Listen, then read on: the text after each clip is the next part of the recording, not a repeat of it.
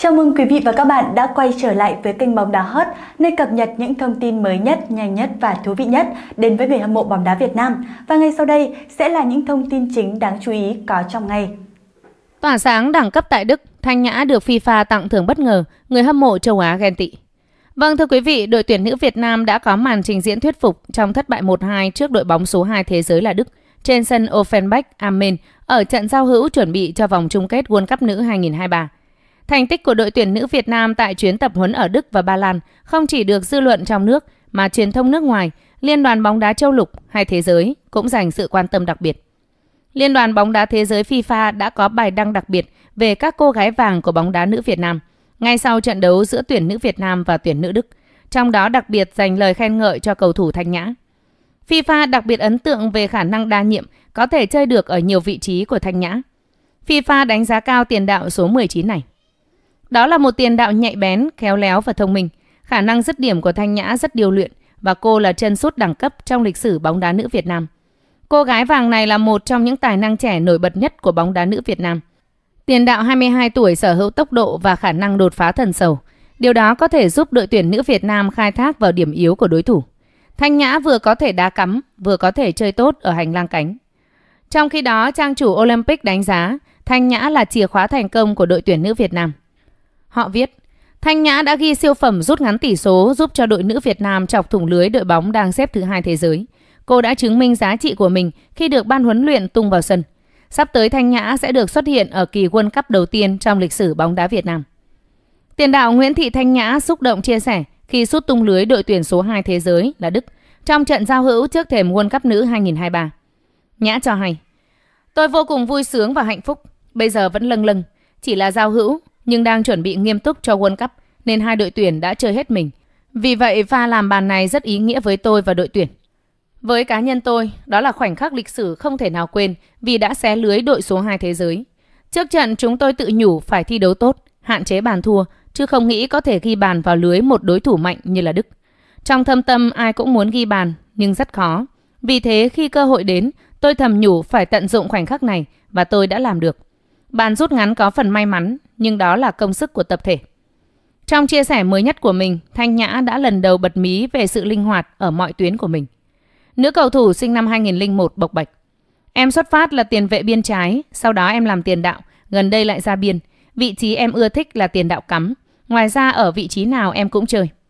Như vậy chỉ trong vỏn vẹn hơn một năm qua, Thanh Nhã đã cùng đội tuyển nữ Việt Nam giành hai tấm huy chương vàng SEA Games liên tiếp. So với thời điểm chỉ là dự bị tiềm năng ở SEA Games năm 2021, Thanh Nhã đang trở thành một gương mặt giàu triển vọng.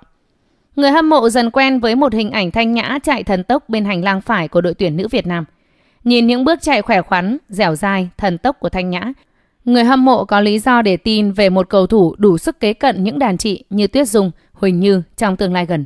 Thanh Nhã chính là một phát hiện vàng của bóng đá nữ nước nhà. Tiền đạo Nguyễn Thị Thanh Nhã thường xuyên ngồi dự bị và thường xuyên được huấn luyện viên Mai Đức Trung tung vào sân ở hiệp 2. Mặc dù vậy, chân sút 22 tuổi vẫn có đóng góp không nhỏ giúp đội tuyển nữ Việt Nam. Với việc thường xuyên ghi bàn khi được vào sân từ ghế dự bị, Thanh Nhã đã được người hâm mộ bóng đá Việt Nam ví von là cầu thủ dự bị chiến lược của đội tuyển nữ Việt Nam. Chia sẻ về biệt danh này, Thanh Nhã nói Em thấy đó là biệt danh khá bình thường. Khi được ban huấn luyện tin tưởng lựa chọn, em sẽ cố gắng hết mình có thể để giúp đội tuyển có được thành tích tốt nhất và hỗ trợ đồng đội nhiều hơn. Mặc dù đã no nê danh hiệu tại các giải đấu ở Đông Nam Á như giải vô địch bóng đá nữ Đông Nam Á hay SEA Games, song mỗi khi ra sân thi đấu, đội tuyển nữ Việt Nam vẫn luôn nỗ lực chiến đấu hết mình vì màu cờ sắc áo. Đồng thời các học trò của huấn luyện viên Mai Đức Trung cũng quyết tâm có được thành tích tốt nhất. Khi được hỏi về bí quyết hay động lực nào để luôn cháy hết mình khi ra sân, Thanh Nhã chia sẻ. Cũng giống như các chị trong đội tuyển, khi được ban huấn luyện tin tưởng cho vào sân, chính là động lực để chúng em tự tin chiến đấu, kể cả với những đối thủ cao to, thậm chí là khỏe hơn. Chúng em có tinh thần chiến đấu của người phụ nữ Việt Nam – Đội tuyển nữ Việt Nam luôn cố gắng thi đấu hết mình và không quản ngại khó khăn nhằm có được kết quả tốt nhất. Về bàn thắng ở trận gặp Đức, em cảm thấy mình có một phần may mắn. Em muốn gửi niềm vui ấy cho gia đình và đặc biệt là người hâm mộ đã luôn đồng hành và cổ vũ đội tuyển thời gian vừa qua và sắp tới. Tại vòng chung kết Asian Cup 2022 diễn ra tại Ấn Độ từ ngày 20 tháng 1 đến ngày 6 tháng 2 năm 2022, Thanh Nhã tiếp tục có mặt trong thành phần đội tuyển quốc gia. Đây là một vòng chung kết đầy rông bão của đội tuyển nữ Việt Nam. Có thời điểm hầu hết các cầu thủ đều bị nhiễm Covid-19, khiến người hâm mộ đã có lúc cho rằng giấc mơ World Cup của đội tuyển nữ Việt Nam đã không còn. Nhưng bằng nghị lực, lòng quả cảm, các cầu thủ nữ đã vượt qua Đài Loan Trung Quốc và Thái Lan ở vòng playoff giành tấm vé chính thức cuối cùng của khu vực châu Á tham dự World Cup 2023 tại Australia và New Zealand. Trong thành công chung này có một phần đóng góp của Nguyễn Thị Thanh Nhã.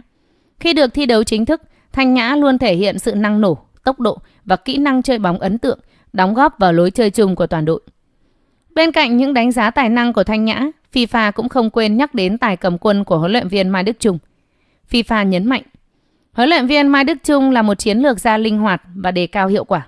Ông đã luân chuyển tốt hai hệ thống 4 hậu vệ và 3 trung vệ để chống lại những đợt tấn công của đối phương và giúp các học trò phát huy được năng lực.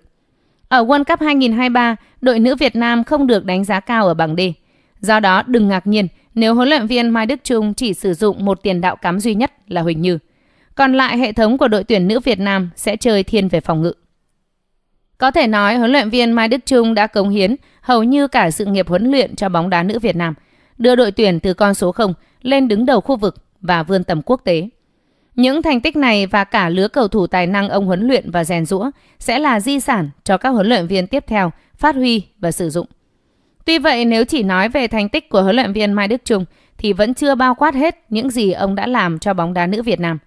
Ngoài nâng tầm ở cấp độ khu vực, quốc tế, ông còn nâng tầm bóng đá nữ ngay ở trong nước và tạo ra tiền đề cho sự phát triển của bóng đá nữ ngày nay.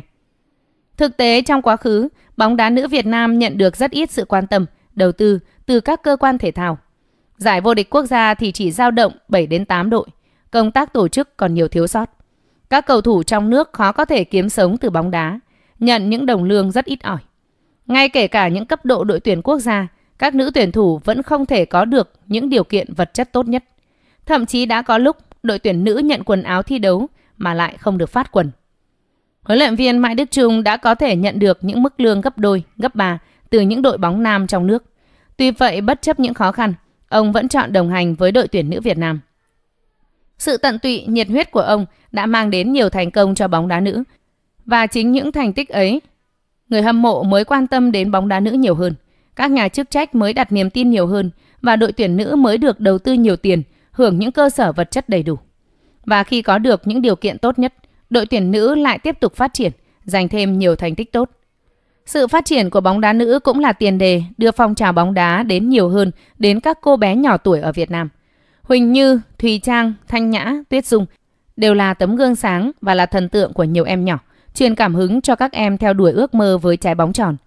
Hơn 25 năm dẫn dắt đội tuyển, huấn luyện viên Mai Đức Trung cũng đã đào tạo ra nhiều lứa cầu thủ tài năng và sau này khi giải nghệ, họ lại tiếp tục theo đuổi sự nghiệp huấn luyện để truyền đạt những kinh nghiệm, kỹ năng cho các lớp trẻ. Có thể nói rằng không có huấn luyện viên Mai Đức Trung thì không có bóng đá nữ Việt Nam như bây giờ. Hiện tại dù đã tuổi cao, huấn luyện viên 72 tuổi vẫn sẽ tiếp tục đồng hành cùng bóng đá nữ Việt Nam để cùng các cầu thủ nữ mang về thêm những vinh quang cho bóng đá Việt Nam. Với sự tâm huyết và những sự đóng góp không biết mệt mỏi, huấn luyện viên Mai Đức Trung xứng đáng là một tượng đài, một huyền thoại sống của bóng đá nữ Việt Nam. Cảm ơn quý vị và các bạn đã chú ý theo dõi đến cuối bản tin. Mọi ý kiến trái chiều, mời quý vị để lại dưới phần bình luận của video này để đội ngũ của chúng tôi có thể kịp thời trả lời. Quý vị cũng đừng quên ấn đăng ký kênh và bật chuông thông báo để có thể không bỏ lỡ bất kỳ video nào đến từ kênh Bóng Đá Hot.